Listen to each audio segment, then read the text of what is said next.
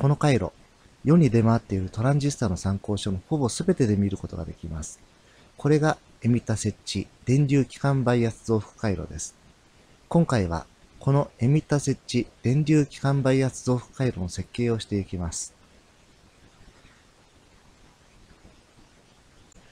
エミタ設置電流機関バイアス増幅回路は増幅回路の中では最も多く使われている増幅回路ですので、トランジスタ回路を学ぶ上で避けて通ることはできません。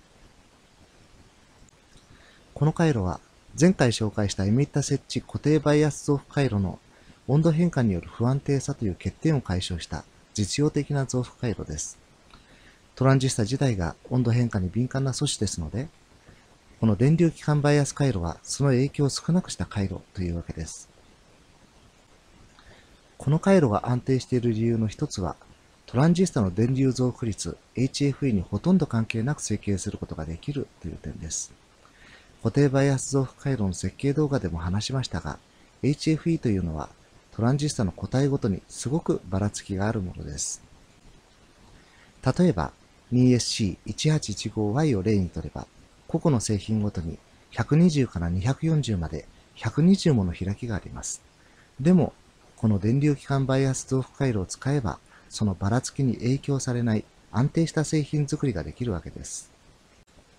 加えて、この回路のもう一つの特徴として、トランジスタ1個ではあまり増幅度の高いアンプは作れません。その理由については、この後設計を進めながら理解していきます。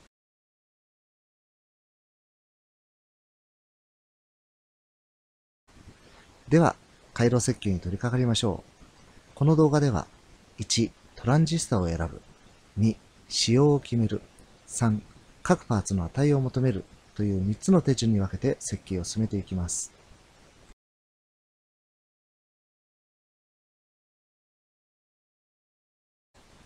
使用するトランジスタを選びます。今回も NPN 型のバイポーラートランジスタを使いますが、さすがに 2SC1815 を使うのは安直すぎて面白くないというか、ちょっと恥ずかしいですね。だって、実用的な増幅回路を設計するんですから、ディスコン品を使うわけにはいかないでしょう。そのようなわけですので、パーツショップで入手可能で、現在生産中で、かつ、スルーホール実装ができる 2SC なんたらというトランジスタを探しましょう。そして値段が安ければなおいいと思いますね。とりあえず、マルツオンライン、共立 L ショップ、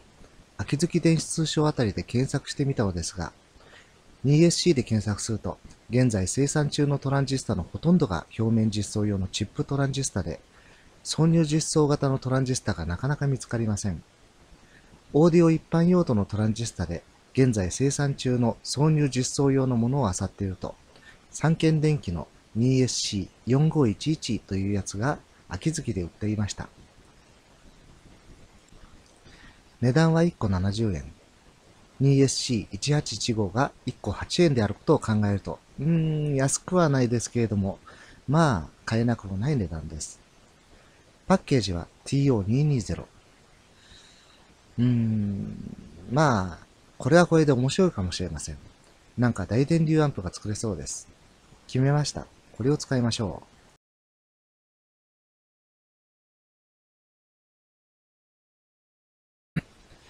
エミッタ設置、電流機関バイアス電圧増幅回路の使用を決めます。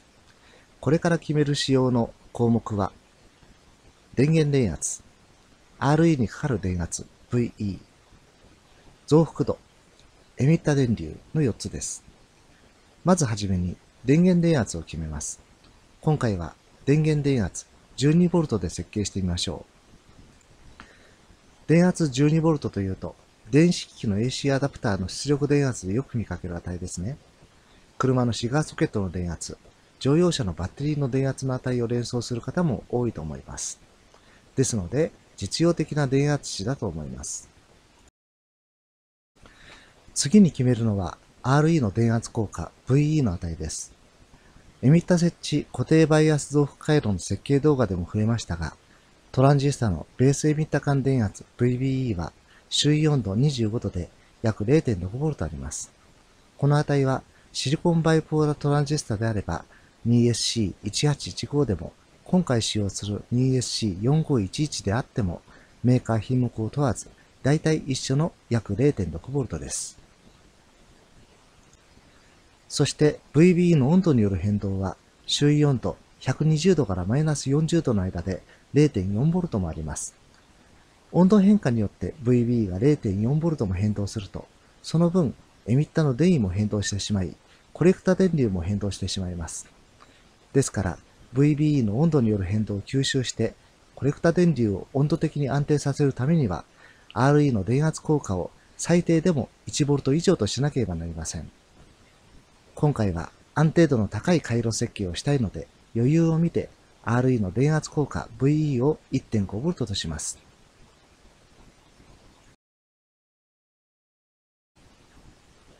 続いて、このアンプの増幅度を決めましょう。増幅度とは、入力信号の電圧を何倍に増やすかということです。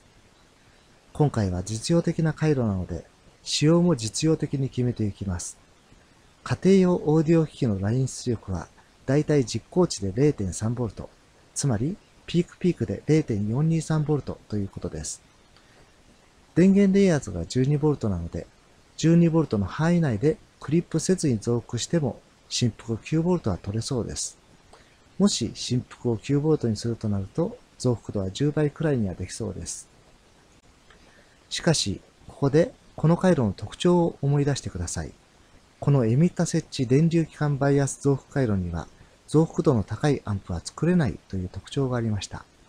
なぜ増幅度の高いアンプは作れないのかというと、エミッタ設置電流機関バイアス増幅回路の場合、増幅度は RC と RE の比で決まるからです。増幅度が RC と RE の比で決まるということは、つまり VC と VE の比で決まるということにもなるわけです。すでに VE は 1.5V と決まっています。この値は温度変化に対応した回路にするという理由で 1.5V 未満にはできません。もし増幅度10倍のアンプを作るならば RC にかかる電圧 VC は 15V となり電源電圧 12V をはるかに超えてしまっています。ですから、エミッタ設置電流機関バイアス増幅回路の場合、電源電圧 12V では増幅と10倍のアンプは作れないというわけです。どうしても10倍アンプが作りたければ、電源電圧を 18V 以上にしなければなりません。では、増幅度をどのように決めればよいかというと、VE を基準に電源電圧 VCC の範囲内で決めればよいわけです。VE は 1.5V で決まっています。もし増幅度を7倍にするとなると 1.5×7 ですから VC は 10.5V。これでは VE と VC だけで 12V となってしまうのでいきません。増幅度を6倍にすると VC は VE1.5V の6倍の 9V です。しかしこれでは VO の値はわずか 3V。つまり出力信号の振幅の中心が 3V となることを意味しており、6倍に増幅された信号の加減が 0.5V しか余裕がなく、クリップしてしまう可能性があります。増幅度を5倍にするなら、VE1.5V×5 ですから、VC は 7.5V。これならば、出力信号の振幅の中心は 4.5V となり、ゆとりのある設計になります。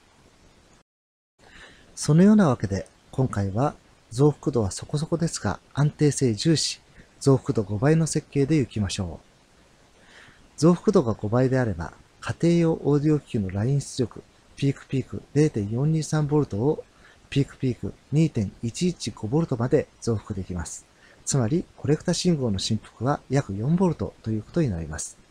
これで、この回路の増幅度が決まりました。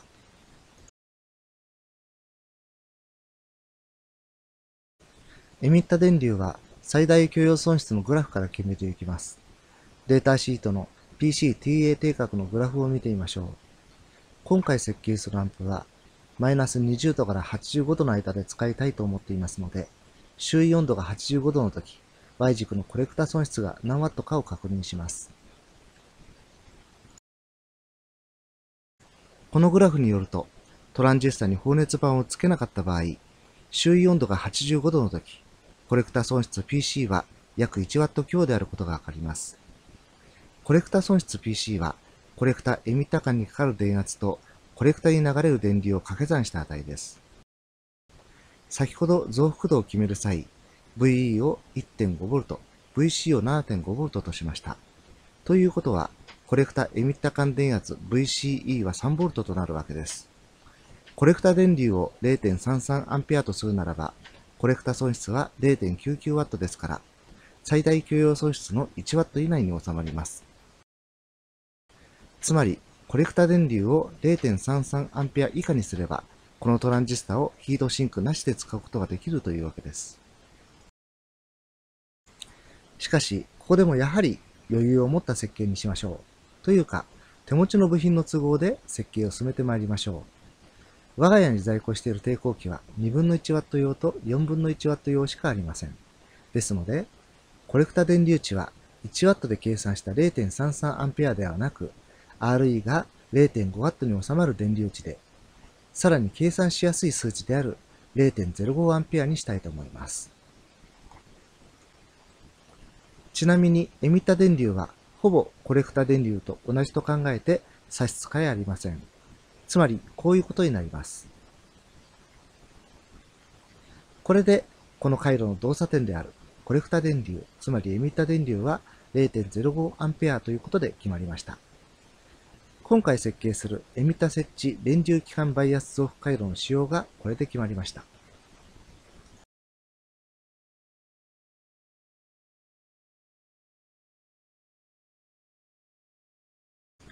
各パーツの値を求めていきましょう。まず、RE の値を求めます。RE の抵抗値を求めるための材料は、すでに揃っています。エミッタ電流 IE が 50mA で、RE にかかる電圧 VE が 1.5V なので、オームの法則で VE 割る IE をすればよいわけです。つまり、1.5V 割る 50mA を計算すればよいので、答えは30。RE の抵抗値は30オームということになります。次に RC の値を求めます。RC の抵抗値を求めるための材料も実はすでに揃っています。これが RC の抵抗値を算出する材料です。先ほども言いましたが、コレクタ電流はほぼエミッタ電流と同じと見て良い値ですので、0.05A となります。先ほど増幅度は RC と RE の比で決まると説明しました。言い換えれば増幅度は VC と VE の比で決まるということにもなるわけです。そうすると RC にかかる電圧 VC は VE の増幅度倍、つまり VC は 1.5V×5 で 7.5V となるわけです。IC と VC が分かれば、あとはオームの法則 VC 割る IC で RC の抵抗値が計算できます。7.5V 割る 0.05A は150オーム。RC の抵抗値は150オームとなりました。ちなみに、この150オームの抵抗には 0.375W の電力がかかるので、2分の 1W の抵抗器を使います。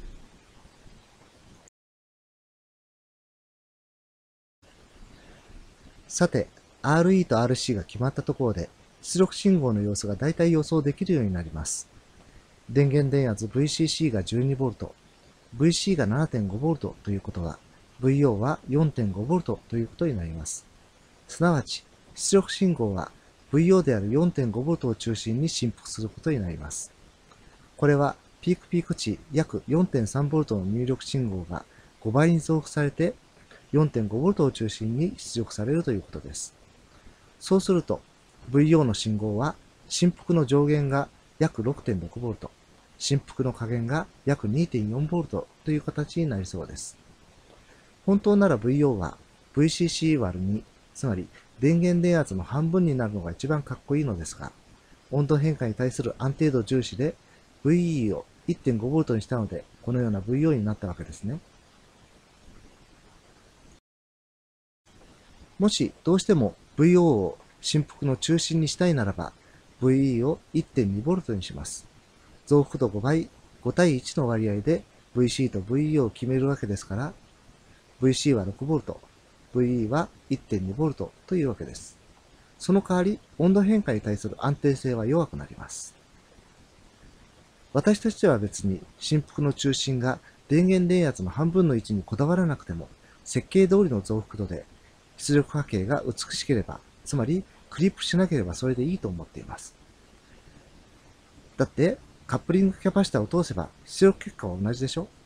そんなことよりもむしろ安定度重視、実用度重視、音質重視で設計した方が良いと思います。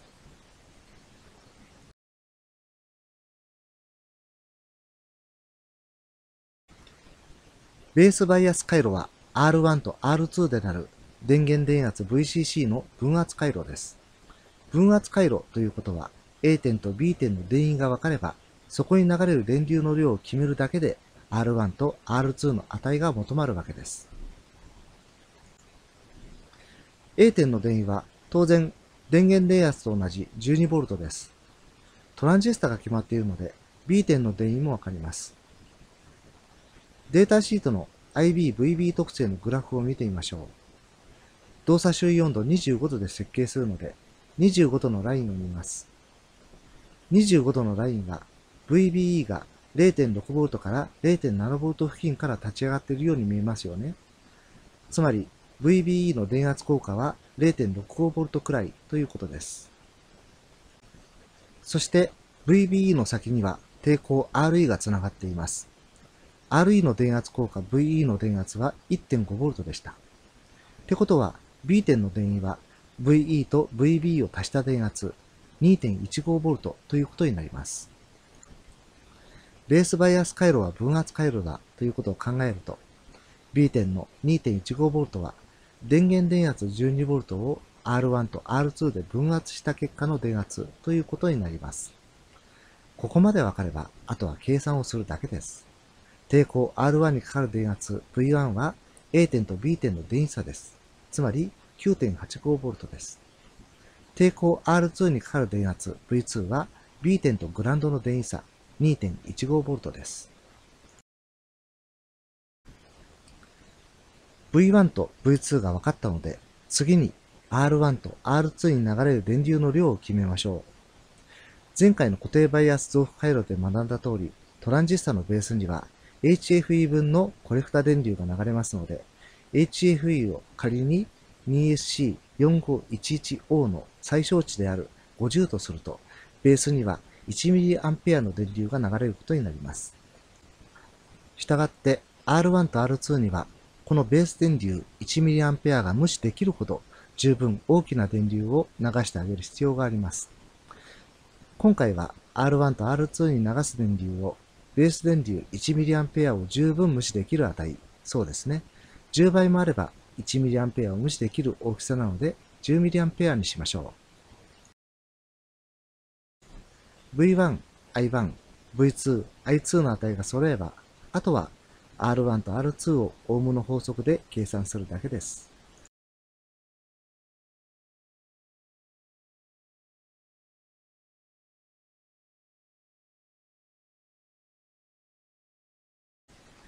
R1 は V1 割る I1、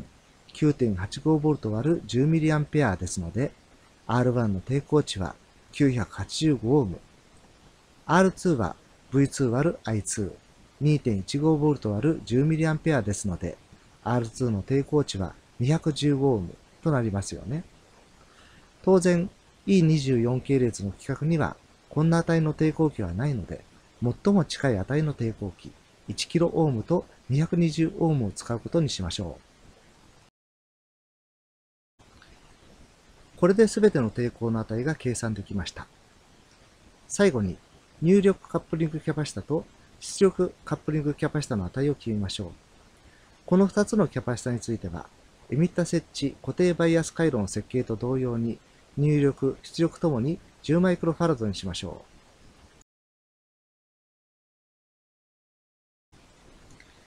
これでやっとすべてのパーツの値を決めることができました。エミッタ設置、電流機関バイアス、電圧増幅回路。とりあえずは設計完了です。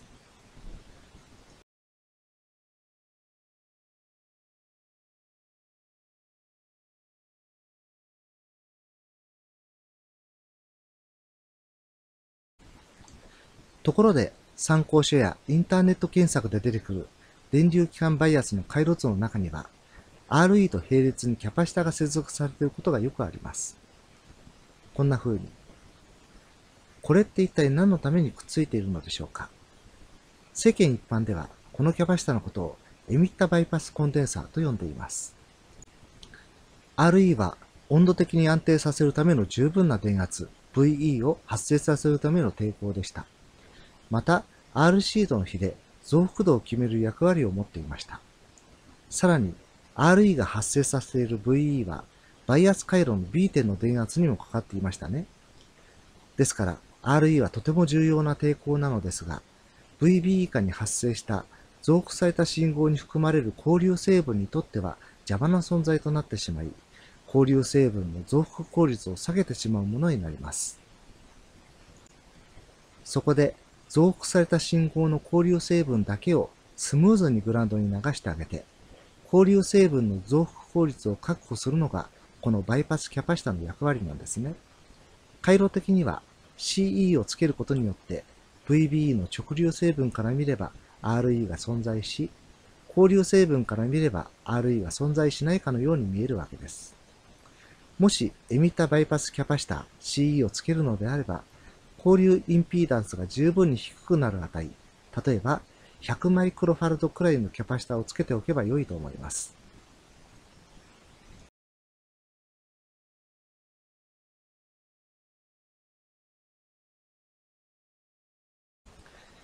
では最後に回路設計のおさらいをしましょう。まずトランジスタを決めました。次に電源電圧、RE にかかる電圧 VE、増幅度、エミッタ電流を決めました。その後、ここまでで決まった内容を使って4つの抵抗、RE、RC、R1、R2 の値を計算しました。最後にカップリングキャパシタ C インと C アウトの値を決めました。この後やることといえば、設計した回路がちゃんと設計通りに動いてくれるかどうかの確認作業です。実際にアンプを作って動作確認をします。その動作確認については次の動画で紹介します。拙い動画ですが、最後までご覧いただきありがとうございました。